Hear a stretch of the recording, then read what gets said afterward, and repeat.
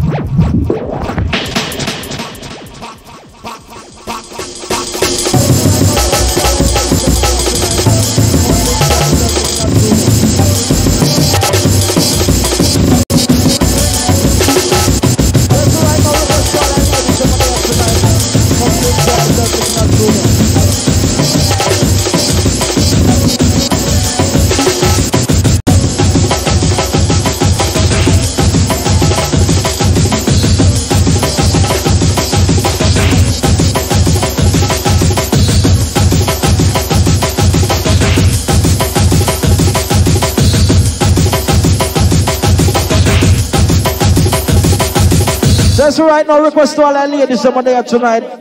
Come enjoy yourself, listen to